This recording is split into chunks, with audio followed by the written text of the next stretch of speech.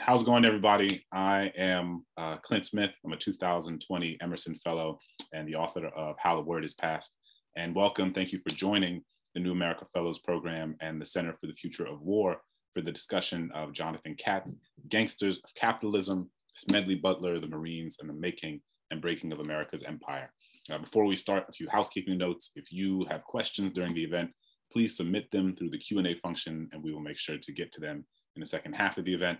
Uh, and most importantly, most importantly, copies of Gangsters of Capitalism is available for purchase through our book selling partner, Solid State Books. You can find a link to buy the book on this page. Just click buy the book at the bottom. And I say this, and I'm gonna say this beginning because sometimes in this virtual space, people can like click on it and they'll open a tab and they'll be like, oh, I'll get to it. And you got 7,000 tabs on your computer and then your computer crashes and you never get a chance to buy the book that you meant to. Do it right now, click on it, buy the book, buy seven of them, buy them for to stack on, you know, under your computer for your Zooms, buy them for your coffee table, buy them to show that you are a thoughtful interrogator of the larger American imperial project and in putting it in conversation with the world around us today. Uh, but most importantly, buy it because it's an excellent book.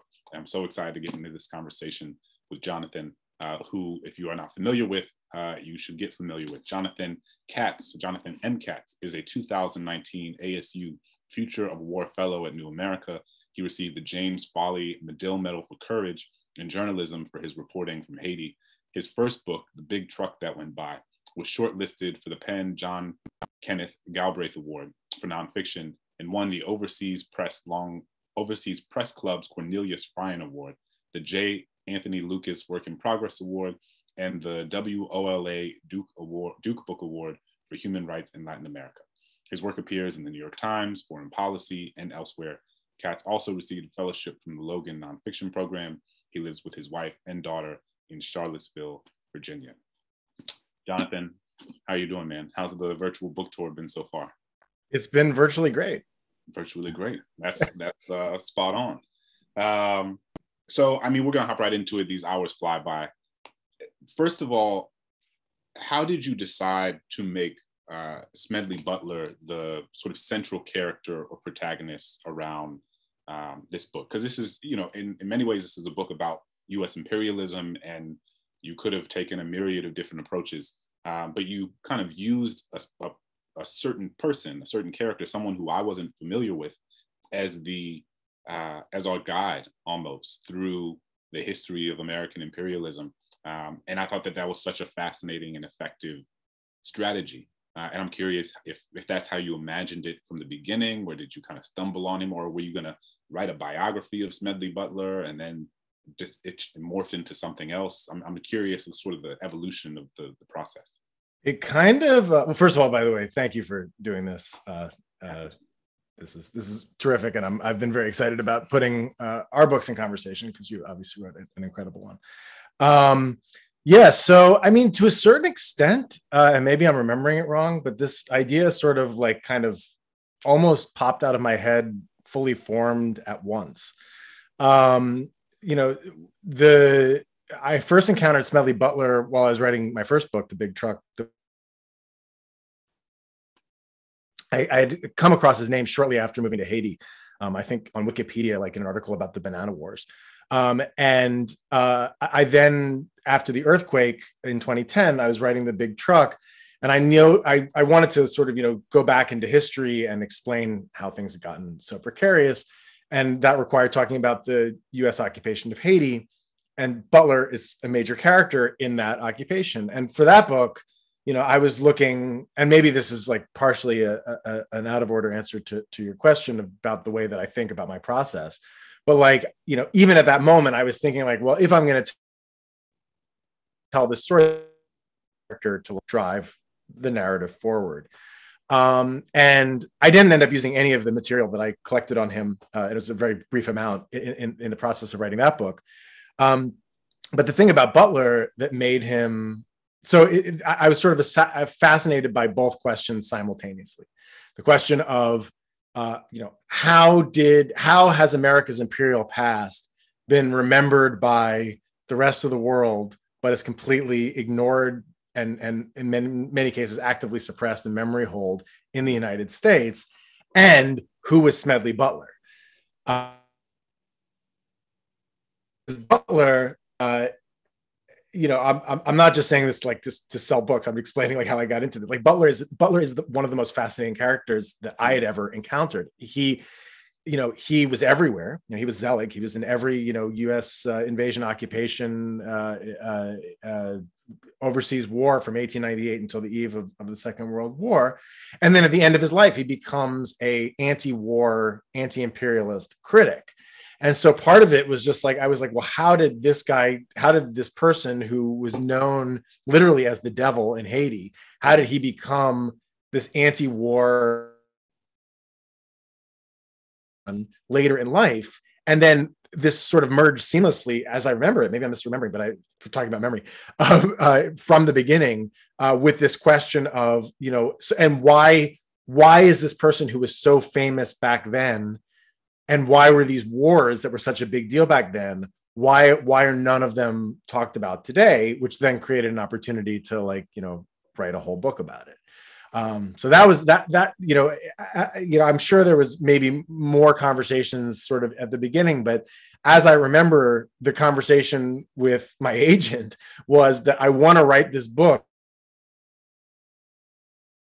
about Smedley Butler, but I don't want it to be a biography of Smedley Butler. I want it to be a, a history of American imperialism, and then I want it to have this modern day component uh, where I you know travel to the places and use sort of my skills as a, as a foreign correspondent to talk about uh, uh, the ways in which you know that story is you know reverberates today um, and that it was sort of a process of me trying to convince her and then trying to convince the publisher that this kind of you know cockamamie idea was was was a good one I mean, it's so interesting because, I mean, as you say, like he was everywhere. I mean, it's it's almost kind of like if you were going to write, if you were gonna, if I was gonna write a screenplay, you know, like making up a character, I, you know, if I read this, I'd be like, okay, but like, was this person really at like every single imperial project that the United States engaged? I mean, it felt. I mean, he was in the Philippines, he was in Haiti, he was in China, he was in uh, I think Mexico. He was in all these different places, um, and and it just I mean it kind of sometimes I think when you're writing nonfiction, the the characters end up being better than the fictionalized versions that you would have come up with. And and Smedley Butler to me seems like one of those characters who just serves as um, again this like really remarkable guide through the so many of the sort of atrocities that the U.S. has enacted or been a part of over the past several decades. And one of the other things you do, and you alluded to this, is not only is it is he serving as the, the our guide, you're also serving as our guide, right? And you there's a version of this book that could have been written from your office, right? That could have been written from the library. Um, that could have taken so much of the incredible history and archives that you delved into, uh, so many of the incredible primary source documents you spent time with, and and written what still would have been a, a really great book. Uh, but I think what makes this book different and what takes it to the next level, and something that I really resonate with a lot because um, it's very similar to how I did my book. We were talking before um, the the uh, the webinar started about how there's a TikTok um, out there that has the book um, how to how to make an empire or how to build an empire. How to hide an empire. Yeah. How to hide an empire. And then my book, How the Word is Passed. And it's like, if this book and this book had a baby together, it would be, and then they showed this book. Um, and after reading the book, I was like, that's so funny because we really had similar approaches where it's this idea like you have to go to the place where this history happened uh, because it gives you a different sense of that history, right? To be on the soil, to be in the buildings, to be with the people who are the descendants of those who experienced these atrocities. How did you come to decide that you wanted to travel, truly travel across the world to go to all of these different places? And why did that feel important to you? So the first thing was that I was, you know, so it was, it was, it was maybe a combination of motivations. One was, you know, I'm a reporter, like it's what I do. Um, I I play historian, and I kind of I, I played historian uh, for years while I was writing this book because I spent a lot of time in the archives. Um, but my wife, Claire Payton, Dr. Claire Payton, like she's the historian. And, you know, and, and, you know, so part of it was I can bring, you know, interpretive analyses. I can bring, you know, I can, you know, play with different frameworks and I can sort of do some of the work that a historian does. But what I really do is I'm a reporter. Like I go places and I talk to people. So that was part of it. Another part was um, that, and this actually, you know, as I as as I'm remembering this, um, big shout out to New America, seriously, because like this book was really born out of sort of like my New America journey, like my New America process. Um, the first time that I actually even said the words out loud, uh, I think I'm going to do a book about Smedley Butler, uh, was it's like an info session. And he's like, So what's your project? And I was like, What is my project? I was like, Have you ever heard of this guy, Smedley Butler? Because it was like a name that had just, you know, a, a, concept that had been kicking around in my head for, for a while at that point. And it was in conversations, um, uh, especially with uh, a friend of mine uh, through New America named Chris Leonard, who's who was a, fellow and, and uh, on board for a long time. Um, uh, we were talking about so part of my concern was that even though this period really isn't that long ago, uh, the period that you know Butler's fighting in, you know, 1898 to to, to 1940, mm-hmm. um, it's really not that long ago. Like people are still alive who were alive during it. Um, but I was worried that maybe it would feel remote, um, that some of you know some of the terms, some of the history would maybe feel a little stodgy, and I wanted to you know make sure that that didn't happen and chris actually put me on to a book um, by tony horwitz mm. called blue latitudes um, which was uh, about uh, the journeys of, of uh, captain cook and in that book uh, tony horwitz i mean this is also a thing that tony horwitz does in other places but in that book in particular horwitz and a friend actually go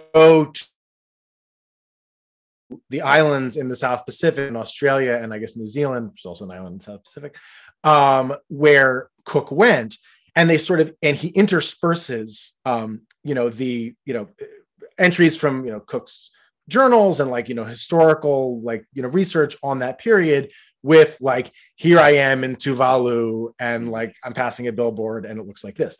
And part of me, you know, so part of the reason that that I I I really want to do this was I was afraid that Butler, you know, as as as many places as he had been, might end up being like kind of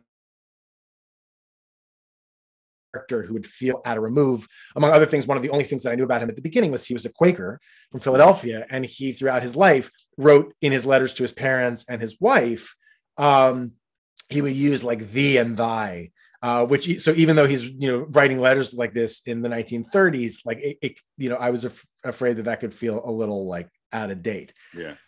Imagine my surprise when i actually got into uh, and i was also worried that maybe there just wouldn't be that much material on like what he actually was doing like in these battles like what the battles looked like. I then as i'm you know i've i've gotten um, i'm embarking on this research um, and I'm sitting at uh, the first place uh, that I was doing archival research at Quantico um, through Butler's letters, and they just and and they're just you know wheeling out cart after cart after cart of his letters, and his letters are are voluminous. I mean, they're just he goes on and in detail, and he's like bearing his heart, and he's talking about his like toothaches and like what he what he had for breakfast and why it wasn't his preferred thing before he kills people. I mean, it's like and I was like, and he's and he's, I mean, he's funny. Mm. He is complicated. He's terrible. Like he, like you know, his like his racism is like awful. And there's all these like parts of him. And I was like, and, and I didn't, I didn't anticipate that at the beginning.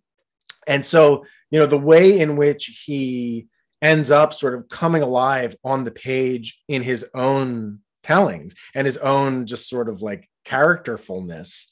Um and then you know since i'd already since i was already you know fully committed to to, to doing the modern day thing i was like you know I, I had to part of part of the writing process was trying to figure out and this was also something that happened at new america in hence uh, writing workshops was trying to figure out like how do i balance like this just character who jumps off the page in the historical material and you know me going places um, and that was a real negotiation about you know turning up the levels on this and turning them down on this uh, and, and trying to make it all work together. So so the, the very short answer is that like it was almost it was at the beginning i thought it was going to be born out of necessity um, and then it ended up I, I i think being just sort of something that that added to to what was already as you as you note a great narrative on its own. Absolutely um pivoting to the, the specific content of the book, one of the things that you talk about early in the book, and that was so that was really illuminating for me. So for folks who don't know, um, my own book is a book about the, how the history of slavery is remembered or misremembered um, across the United States and, and to some extent abroad. And so I've been thinking, you know, a lot about the founding fathers, been thinking a lot about, you know, went to Monticello, went to Montpelier, went to Mount Vernon, um, think about uh, what those places represent and who those, what the idea, the sort of way that those people, those men, and their ideas served as the foundation upon which um, not only American, obviously domestic policy, but um, international policy would be built. And one of the things that you uh, brought up was how Jefferson wrote a letter to Madison suggesting that they should um, annex Florida, Canada, and Cuba. And he says, we should have such an empire for liberty as she has never surveyed since the creation. And I thought that that was so illuminating. Um, and I thought, and, and I'm thinking too about how, uh, for enslavers, they wanted to um, annex Cuba so that they would have a place to tip the balance of power so that they could have more control over Congress and the US government. And it really demonstrates this early relationship between slavery and cap, uh, uh, between slavery and imperialism.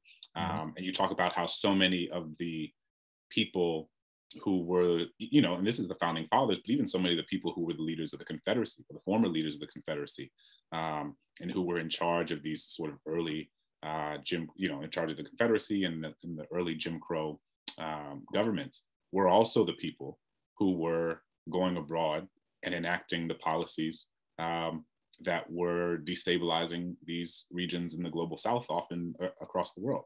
So, can you talk a little bit about the relationship between sort of domestic manifestations of oppression through slavery, through Jim Crow, through uh, indigenous genocide, whatever the case may be, and and the sort of almost what feels like a an outgrowth of those sensibilities um, in the way that people, some of those folks, enacted and destabilized region, different regions across across the world. Yeah, no, that's those are all really good points. The I mean, in you know, so as you note, like before the Civil War, um, you know, one of the major drivers of of the quest for expansion of the United States was slavery. It was to have more slave states, more land to expand slavery to, um, and and you know, there's slavery capitalism and expansionism were kind of you know the the, the two the, the three legs of, of of the stool um and uh yeah and so you know cuba is initially looked at very hungrily by uh jefferson davis as secretary of war. He under franklin pierce he uh is is uh pushing to to annex cuba. Um polk considers it. Uh, and at, various points along the way, um, there are there are proposals to annex Cuba, to annex uh, Santo Domingo, what becomes the Dominican Republic, um, and those are sort of rejected by sort of like American, like white Americans' racism, like.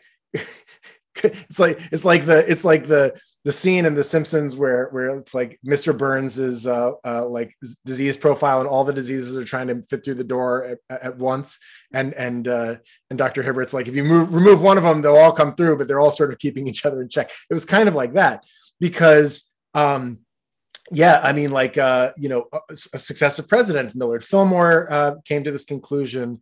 Uh, uh, James Polk came to this conclusion. They were like, well, we could annex Cuba, but they don't speak our language. They're Catholic, um, and and you know, and and the ratio of of of black people to white people, of enslaved people to to uh, to Europeans was was such that they were afraid that it, you know that it would it would have these sort of other effects on American life and on the American body politic that they didn't want. and what happens in the period of the book that that I'm, you know, th- that where the action is really set, um, uh, with you know, so the book the book opens with uh, the war against Spain in, in 1898, and Smedley Butler joining the Marines. He lies about his age, years old, and he joins the Marines uh, to go fight in Cuba, and, and, ends up at the the first place the Americans uh, uh, conquer in Cuba, a, a, little spot called Guantanamo Bay. Um, and by that moment, you know, so the Civil War has now happened, uh, you know, uh, uh, three decades before, and it is. But the civil and the Civil War just like suffuses this entire period in every respect. Both um, you know, Teddy Roosevelt and sort of the Jingos, uh, the the as they're known, like the, the, the expansionists, the imperialists, um, desire to sort of reclaim the glory of their father's generation missed out on. Um, you know, they they grown up hearing you know tales of heroism in the Civil War, and they hadn't gotten to participate in it. Um, and then also this sort of relationship between slavery and expansionism, because at this point, obviously, uh, slavery has uh, been outlawed in the United States. It's also been outlawed in Cuba, finally, over the course of 30 years of, of uh, independence war by the Cubans against their Spanish colonizers. Um, and because slavery is a dead letter in the United States, the, the, the people who were themselves former enslavers or the children of former enslavers um, are no longer in Cuba anymore. In Cuba to, you know, tip the balance of power in, in Congress. That's old hat. And so for them, the only thing that's retained is this other idea that, like, you know, they speak Spanish, they're Catholic, they're not white. Their idea, like Spanish categories of race are different than, Ameri- than American categories of race. You know, they don't subscribe to the one drop rule. So there are some people who don't consider themselves black who would very much be black in the United States. And and they don't want it. And so you have guys like um, one of just the all-time great SOBs in American history. Uh, uh, uh, uh, Ben Tillman, Pitchfork Ben Tillman, um, the the the the one-eyed. Not that having one eye makes him a bad person, but it just sort of adds the, the picture of this guy. The one-eyed, uh, you know, he was a Confederate. He enlisted in the Confederate Army, um, and he then becomes governor of South Carolina. He oversees a huge surge in lynchings, and he gives this passionate uh, opposition to specifically the colonization of the Philippines um, on on the floor of of the Senate, where he he says, you know, you know, uh, uh, you know, incorporating the Philippines in the United States would bring in, and then he lists all the different categories and subcategories of non-white people yeah. that he's that he's worried, and he's like he's saying like I like I don't want to be sitting next to, to, the senator from Malay. Like that's not that's not my that's not my vision of myself in America. And what ends up happening at this moment is the other thing that's happening. Um, and and uh, uh, you know I, I I draw on on um, uh, the work of uh, Adriane uh, Lentz Smith, uh, who writes a great book called Freedom Struggles about this period, um, and and others. Um, you know, this is this moment of uh, reconciliation between sort of northern capital and southern capital, northern whites and southern whites. Uh, you know, we're in the redemption. I mean, 1898 is also Plessy versus Ferguson. This is all. It's also the, the, the year of the Wilmington coup. So, like, all of these things are sort of happening at once, and you know, basically, white people in the North are like, well, let's let's sort of let's let's find you know common ground with with white people in in the south at the expense of both non-white black people in the united states and elsewhere. And this you know comes in, you know this is lived out on the ground in these wars. And there's also in addition to you know plessy there's a series of supreme court cases known as the insular case um, which are still good law. They still govern life in in Puerto Rico and Guam, et cetera, um, which say that just because the United States government runs your island, and just because the flag flies over your, you know, territorial house, does not mean that you have equal rights under the Constitution. And this is still in 2022. This is still the law that, that governs Puerto Rico. It's it's and, and Guam and, and the Northern Mariana Islands, et cetera. It's still the law uh, it's, there's still the cases under which it is acceptable for us to have these fully owned colonies that do not have a vote for president and do not have representation on the floor of, of either house of Congress. And it's that compromise that ends up mollifying people like Pitchfork Ben Tillman, where he's like, well, if they're not going to have representation in Congress and they're not going to be able to vote for president and we're not going to have to give them equal rights, I guess that's cool with me. Right. And it, it that provided such helpful historical context for me, right? And it just really made the through line clear of the uh, sort of colonial inequity um, and the the way that electoral agency has been stripped from these places that are ostensibly members of the sort of larger American project, and and uh, and you know making it clear that I mean it, it's just so revealing because it's you know you see all these parallels between what's happening abroad and what's happening here, where they're like, oh okay, well if if black people can't vote, or if black people don't have you know can't run for office, or if black people you know, if I don't have to sit next to them in the restaurant, or if I, you know, and it's a similar sort of sensibility that are animating the decisions about how what the United States relationship to its uh, colonial territories will be, uh, depending on the nature of, of who they are. And I mean, I remember the part in your book about the Philippines where the maybe it was like one of the generals or a politician, and they were using some of the same they were using like anti-black language about yeah. filipinos because they they almost like didn't have the language like anti-asian or anti-pacific islander language to use but they were like well they're brown and so they just started using these anti-black racial slurs to describe the filipino folks um, and again it just that it just makes that through line so clear and one you know this is tied to that one of the things i didn't know i just learned so many facts from your book but like I didn't know that the majority of people who built the Panama Canal, for example, were were black people who had been brought in from the West Indies. And one of the things you talk about is how the United States, both in Panama but also more broadly, were was like Americans were exporting restaurants and they were exporting,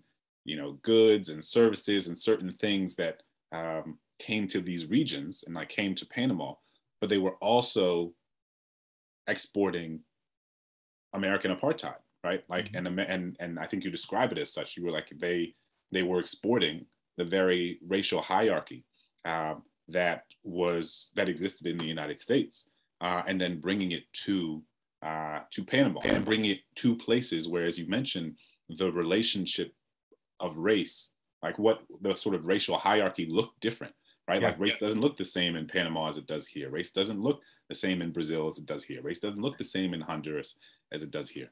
Um, but but part of what the U.S. did was impose its own conception of uh, what it believed the racial hierarchy should be, and that animated what um, what life in these places looked like, and and and really shifted um, in some ways the dynamics of of race relations and racial dynamics um, in these places. I, I, think I remember in the Panama chapter, you were talking about the um, the struggle between, you know, because these were Black West Indians brought in from brought in to Panama who spoke English, and then uh, they their relationship to the sort of the native and indigenous communities in Panama who spoke Spanish that was contentious, but all of that was happening because white people from America were the ones who were bringing in Pan, like um, bringing in English speaking West Indians to, I mean, and, and the whole thing, it's like, I mean, we, it gave me such a more expansive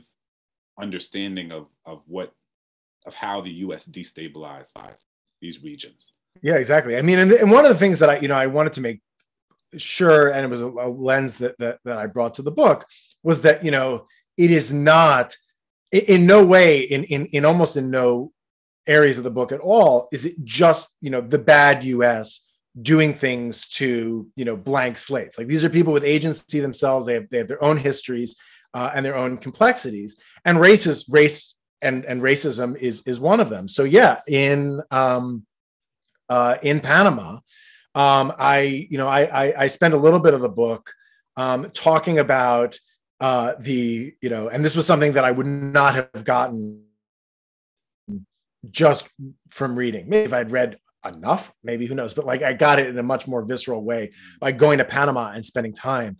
Um, the ways in which you know race in Panama is extremely complex because not only do you have you know sort of the and and in the period that I'm talking about, you know, the Zonians who are essentially like the white uh, American, mostly white American colonizers who live in in the Canal Zone. Um, uh, and then you also have the, you know, you have the indigenous Panamanians, you have the, the, the Panamanians who, you know, are mestizo with, you know, mix, mixes between, you know, European and indigenous and maybe some African ancestors.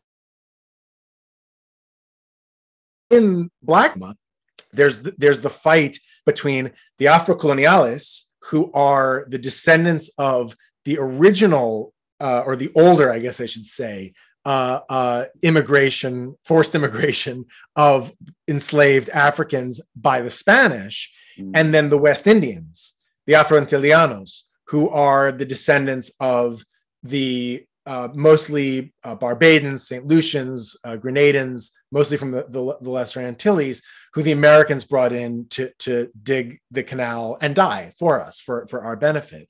And the, and the way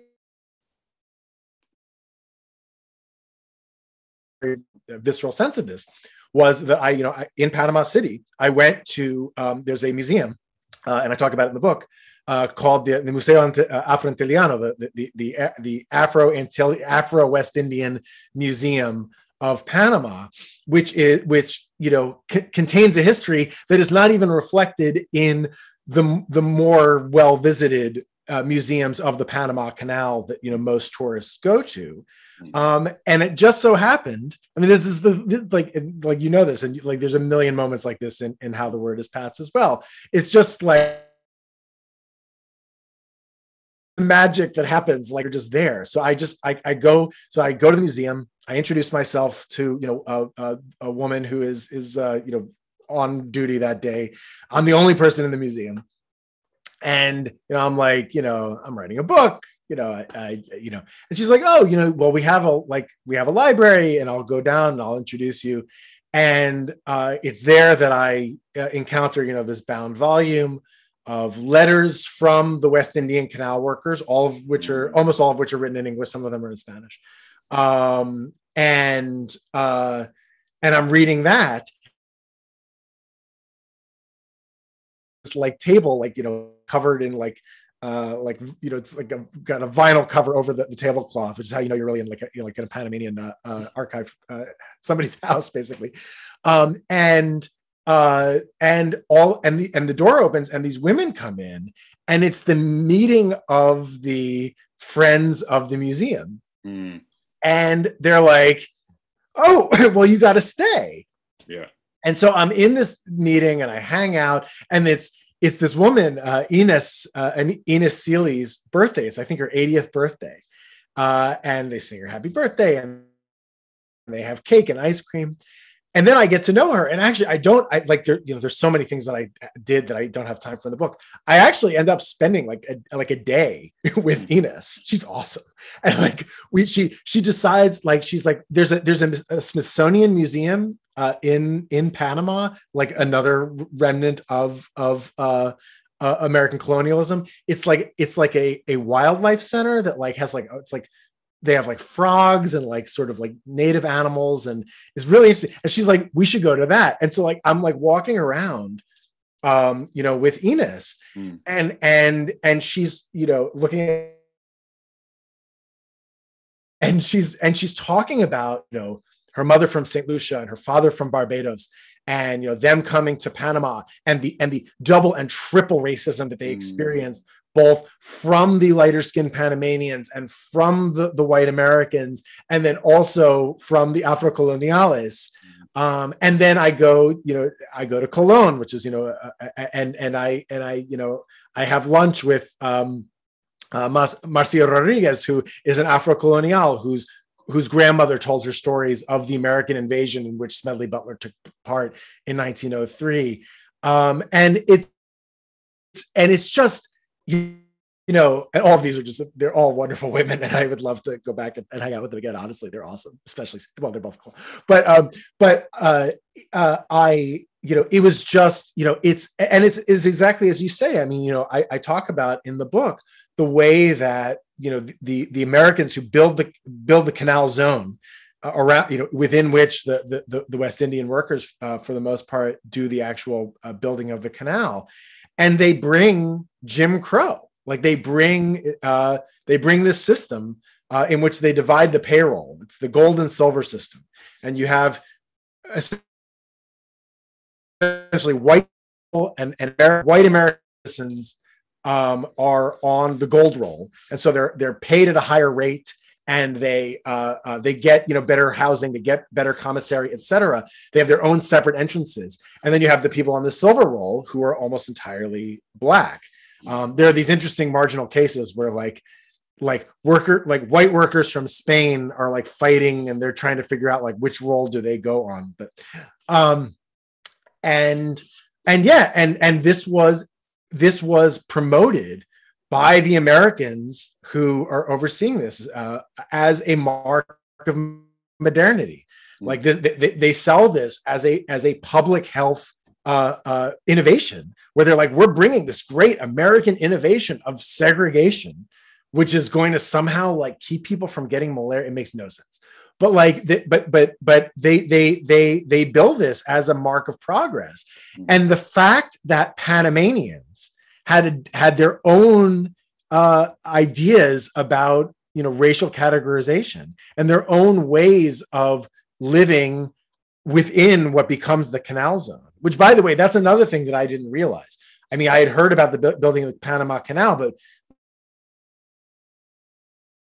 guess was that this was an area that was was depopulated. This was an area that people lived. Like there were tens of thousands of people who were evicted from their homes force, forcibly by the Americans for the purpose of, of building the canal. And one of the ways in which uh, uh, you know Dr. Gorgas, um, one of the ways in which the, the, the Americans who are are are uh, overseeing this ethnic cleansing essentially uh, for just forced total you know population uh, removal from uh, the canal zone um, is they're saying like, well, look how backward these people are. Like they weren't even segregated. Like they weren't even like there were there were light skinned and dark skinned people like living next to each other. Like these people clearly don't know how to create a society. We're doing them a favor. And that was the way, that was one of the ways in which uh, uh Americans in that period uh, told themselves that everything that they were doing was okay. Man, it's just it's always wild to think about the way that systems of white supremacy and, and oppressions more broadly um, attempt to justify themselves. I'm curious from your end. Also, I should say, um, as we are getting closer toward the end, we're about two thirds through. Uh, if you have any questions, uh, feel free to put them in the Q&A function. I'll certainly incorporate your questions as we finish our conversation. Um, so feel free to throw those in there. and if you have not pressed purchase this book button, press it now. Do it now. Don't wait another minute.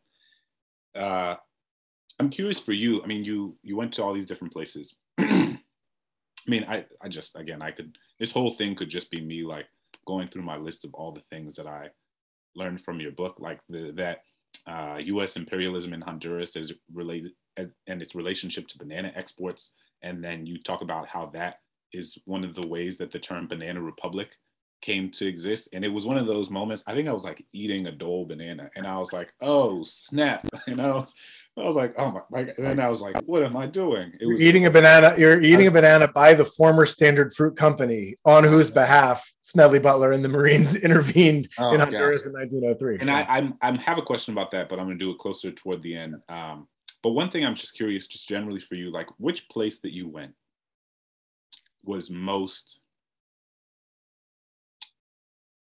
I don't know if the word surprising, but like the place that you that is that has stayed with you the most. You know, maybe it's that was most surprising, that was most, you know, that resonated the most, that um, that devastated you the most, or that you learned the most. Like, what what is the you know, if you can pick? I know it's like picking your kids; it's hard. Exactly. But like, exactly. which which one is the one that you are like, this is this? I couldn't have written the book and not included this chapter? So I want to stipulate first off that like Haiti, you know, uh, I, I lived in Haiti, you know, for for for three and a half years. Um, a lot of my heart is is is still there, um, and you know, and and Haiti is Haiti is also the, the height of Smedley Butler's career, um, and you know, you know, so you know, there's two chapters on Haiti. There's one on the Dominican Republic, um, uh, which also deals with sort of the Dominican Dominican Republic's relationship with Haiti. I also lived in the Dominican Republic before I lived in Haiti. So there's there's you know the, the three the three Hispaniola chapters, um, sort of geographically, they're they're at the center of they're literally the center of, of, of the book. Hmm. Um, and they really are sort of at the heart of how I how I came to this story um, and, and, the lens through which I view it. I mean, you know, one of the one of the and I, I talk about him in in uh, the the prologue to the book, um, and the prologue is broadly about a you know Smedley Butler blowing the whistle on this you know fascist coup in, in the 1930s, which I I could and often do find myself spending all day talking about. Um, but uh, uh, but I also am talking about, and I, I quote the great Haitian scholar Michel Rolph Trouillot you know uh, uh, his book silencing the past which was one of sort of my lodestars. Um, and also by the way the epigraph to this book is a haitian proverb. Mm. um, uh, by coublier pote songer the, the, the one who uh, the one who gives the blow i it was my translation deals uh, i was trying mm. to be a little bit cute with with gangsters of capitalism the one who deals the blow um, uh, forgets the one who bears the, bears the scar remembers mm. Um, you know what? I'll just say that because it's. It, I guess. I guess I, I just throw cleared myself into into just making that my answer. I mean, you know, I I, I go. I I um uh you know I I I knew that I was going to have to go back to Haiti um you know for uh, uh, to write this book. Um, I, I went back at, a period of uh, extreme unrest. It, there, it, Haiti is now in, in, in yet another one.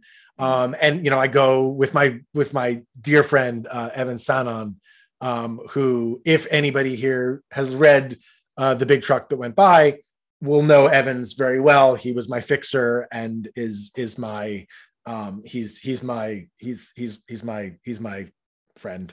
And he's he's he's you know it's the guy who I go through the earthquake with and and and he's throughout the big truck. Um, and he does you know he does make a, a an extended cameo in in um, in the in the Haiti chapter of this book. Because I go and I meet Evens um, in in Cap in, in the north, uh, and then we go into the mountains to look for um, the place where Smedley Butler won his second of two medals of honor um, in in the massacre at Fort Rivière, and I you know go up this mountain looking for him and end up in a in a voodoo temple, etc.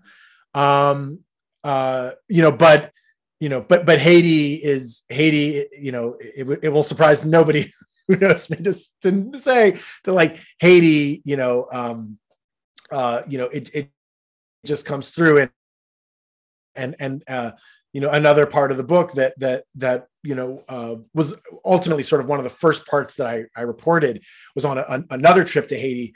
Um, I you know I visit this uh, industrial park that essentially the Clintons built um, in response to the earthquake, um, a, a, an industrial park which, unbeknownst to the Clintons and unbeknownst to the builders of the park, um, was a forced labor camp uh, overseen by the Marines, including Smedley Butler, mm. um, in which not only so, so Smedley Butler, among other things that he does in Haiti, a, a country founded famously in a in,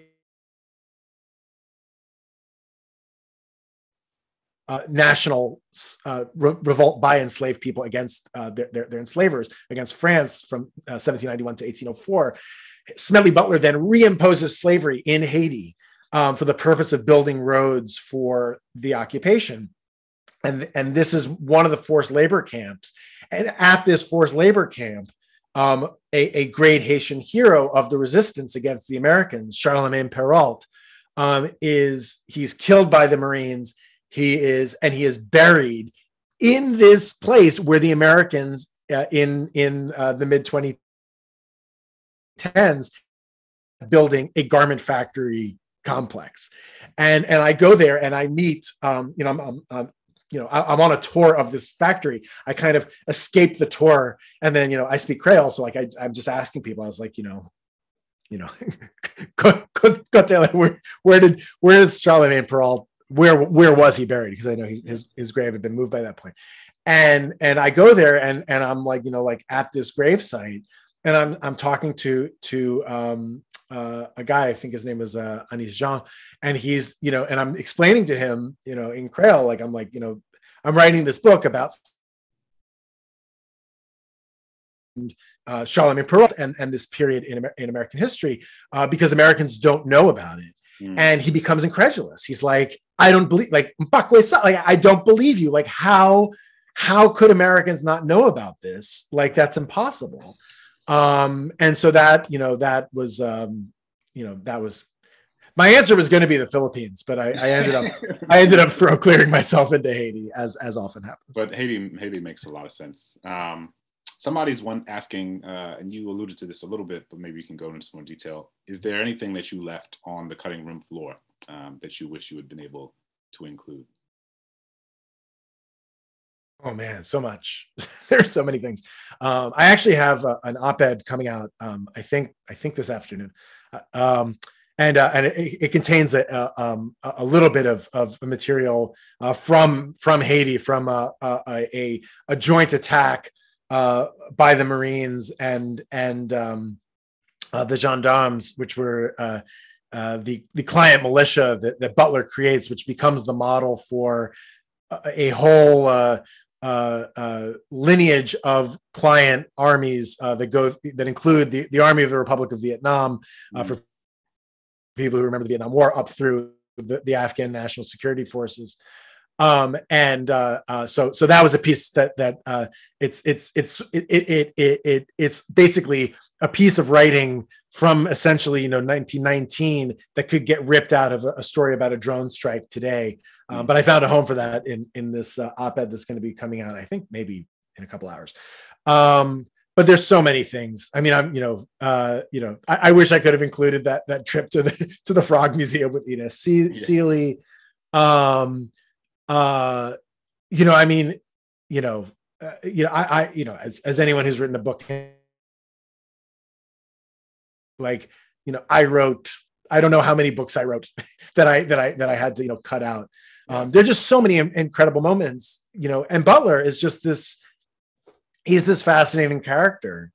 Um you know and there, there were some things that you know i was able to you know sort of work in like a little bit of um uh you know i have a scene it's like kind of a partial scene uh where during butler's anti-war phase um, in 1935, he appears at a, an event in Cleveland, uh, and it's it's sort of thrown. The, the event is kind of put on by like the Communist Party, but like they're not all communists who are involved in it, and it's a it's it's a it's a, a protest against war and against fascism, mm. and it's Butler, um, uh, a a, a uh, an important anti-fascist from uh, Cleveland, Langston Hughes, um, all appear on the stage together along with other people. And there's other people who I'm like leaving out of this brief telling. And um, just like what, so, and there's a Marine spy who comes to this meeting and reports back to the commandant what's happening at this meeting. And, and he's there to sort of inform on Butler. Um, but he writes about he writes all this stuff about Langston Hughes, um, and he and and um, one of the things that he says is that um, this this Hughes guy must be a communist spy because he speaks far too eloquently to have written these things on his own. So they must have been written for him by CPUSA. Clearly. Um, clearly. clearly. And so and and and then you know and then you know I have I like I was able to sort of go down this rabbit hole and like figure out a little bit. You know, there's a there's some you know there's some uh, interaction between Butler and, and Langston Hughes, uh, which obviously, you know, it doesn't need to be said, but puts the lie to that particular uh, uh, uh, uh insult. Anyway, so like you know, there, but there was just there were so many things. You know, it was, it was, this book was five years in the making. Um, I could I could write I could I could write a whole series. Honestly, I don't think I will, but I but I could. Well, I hope that there are more of these op-eds. Um, that are coming. I know the feeling of the cutting room floor and looking down at it and being like, damn, that's like three other books. Yeah. Um, yeah. So, so I feel you on that. One of the things that I kept thinking about uh, as I was reading, and, and this might be the last question, mm-hmm. um, mm-hmm. is like, what is it? What does it mean to live ethically as an American, given this history? Like, if we look around us, our, you know, I was kind of making light of it earlier, but like our fruit, our clothes, our houses, you know, the material that, that makes our cars, our, you know, all this stuff to varying degrees are material manifestations of a history of violence and oppression and imperialism. Um, you know, whether it's the things that, that, you know, the people who were killed, uh, you know, essentially killed in, uh, to make the Panama Canal that so much of our stuff comes through, whether it's the bananas in Honduras, whether it's the, you know, the beef in uh, Mexico, whether, you know, whatever the case may be. What, what, what do you think about what, like, what do, you know, just what are the, how do we live ethically given this history and the ways that all of us, even, even when we try, ostensibly benefit from the material resources that have been extracted as a result of yeah. this past. Yeah i mean um and it's all done you know because we're an empire it's all done with sort of a flick of the wrist. Another moment that that i remember from this just sort of coming back to me right now that that that um that i remember from my travels that I, I couldn't include was I, at, at the fancier museum, El Museo del Canal, the, the, the museum of the Panama Canal in, in Panama City. Um, you know, I had to get sort of a special escort in order to be able to like take photos for my notes. And while I was going around this museum, um, the, the, the guy who's who's escorting me like asks like you know so what do Americans think about the fact that the Panama Canal was given back to us in in in 1999? Um, you know, uh, are they still mad about it? And I was like, I don't know how to tell you this. Most Americans don't even know that we had it at this point. Mm. Like it's not because we got every, because we we wrung everything out of it, and and at the cost of all these lives and and all and and and all these things in Panama. And they're still, I mean, they they are still very much living today. the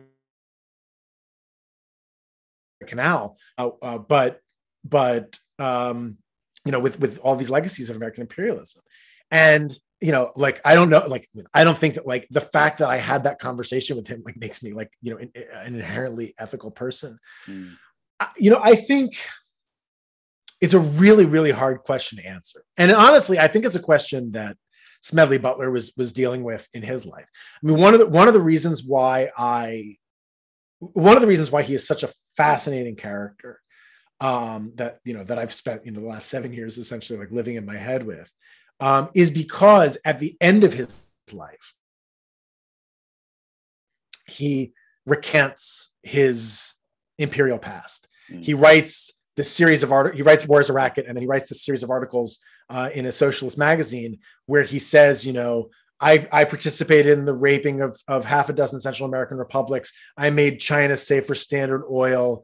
I, you know, um, uh, made you know Haiti and Cuba uh, a, a, good place for this. The Citibank boys, Citibank still exists, mm. um, you know, to, to collect revenues in.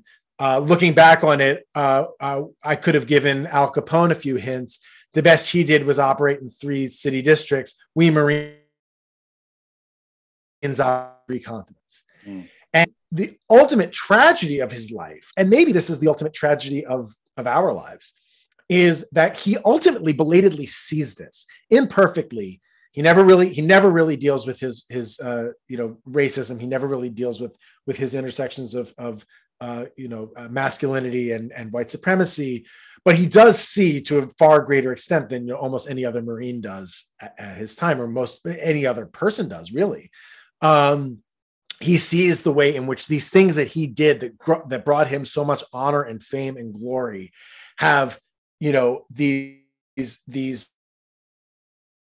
destructive effects not only on the rest of the world but on ourselves here at home all you know on you know these ways in which uh, as as uh, Aimé Césaire says, you know uh, that that you know the, one of the ultimate uh, uh, consequences of colonialism is the brutalization of the colonizer, um, which then comes back home in the form of fascism um, and, and and and brutality at home. Um, you know, ultimately, Butler in, in, you know he's a great success as an imperialist. He's really a failure at you know any kind of attempt at, at anti-war or or or anti-colonialism. Mm. um, he you know he he he spends his last stores of energy trying to prevent world war ii from happening and trying to prevent the united states from getting involved in it. Um, and and to and to convince americans to you know uh, decolonize our our our holdings, especially in in the Pacific. Mm-hmm. And it's only with World War II that the Philippines, which three chapters of this book that, that Butler you know spends so much time in, um, that, that the Philippines are finally granted their belated independence after we have bombed them to death. Mm. Um, a certain extent for for Douglas MacArthur's ego so that he can so that he can make good on his promise you know I I shall return and then and then return to Manila which becomes the second worst uh, destroyed city in the world after Warsaw um, in in in um, uh, in, in, in World War II, and and Butler's trying to prevent that from happening, and he fails. And to a great extent, he has failed to do so because he was such an active participant in creating this empire and creating these imperial structures mm. and you know the, and and really you know i mean and, and i think this is the thing that, that, you deal with in your work as well like you know, ultimately this kind of of individuals versus structures you know like how much how much of an impact can any one person have versus you know the, these larger historical and, and social structures? And the answer is it depends. It depends on where that individual is placed. An individual president can have much more influence than than than uh, you know uh, an unhoused person you know who's who's just watching all these things go by. Hmm. um, to a certain extent it has to do with the ways you know the extent to which we are participating in sort of the goals of these structures in, in making things worse. You can have much more effect then. Um, if you are trying to make a war happen with Russia right now, you are going to be much more successful um, than than than if you than if you you know if you try to fight against it, unless you're one of the people who might have influence on this, um, who who can stop you know the war machine as it goes into overdrive.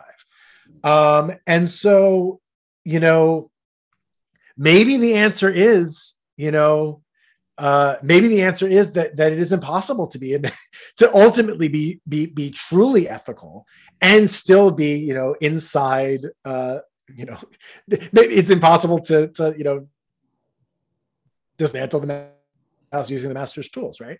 Um uh you know maybe maybe maybe that's the answer. It is you know it it is more ethical to try. It is more ethical to try to uh, shine a light on these things and and and uplift um, uh, the people who who who are are are trying to point out these crimes and and to and to prevent further ones from happening. Um, people like Azmat Khan, our, our New America colleague, who has done yeah. just incredible work. Mm-hmm. Um, and um, I in, in, the op-ed that I have, I, am I'm, I'm tying sort of Butler and to, to her work actually. Mm. Um, but um, uh, but you know, at the at the same time, it's like my daughter needs bananas. Yeah. like, yeah, you know, and and uh, extricate yourself from it. Yeah, yeah. So it's it's it's hard. It's really hard, and and you know, you know, maybe maybe the answer. I, this is. I feel like this is the Jewish, like the Talmudic answer it's like it's the argument it's the struggle like it's it's it's yeah, it's being in the fight that like where where where where you know where it's as much as you can do. Yeah. um but it's also you know looking at the ways in which in which uh, you, you looking at the ways in which you're perpetuating the, the empire and, and, the ways in which you're trying to dismantle it and and and trying to make the best choices you can. Yeah. No i think that's absolutely right. Um and i think that so much of the point of educating yourself and struggling with it and reflecting on it and you know books like yours that teach us so much about it um, are so that we don't do the same thing in the future, right? And and I think that that is um, that makes the struggle, you know, meaningful. Um, so, Jonathan, man, it's an excellent book. Um, congratulations. Uh, I I know virtual tours and virtual, you know, the situation can be weird. I hope you get a chance to do some in-person stuff, um, at least a few sometime soon. Uh, but uh, hope your daughter and your family are doing well. Hope she's loving those bananas as much as my yes, kids are. She does. Um, and thank you all. Thank you to everybody who joined us over your lunch break, uh, or if you're on the West Coast when your breakfast break. Um, appreciate you coming through. Again, buy this book. You won't regret it. Um, it's really, really excellent. And uh, if you're into audiobooks, you can get the audiobook, whatever, whatever your thing is. Um, Jonathan, thank you. New America, thank you.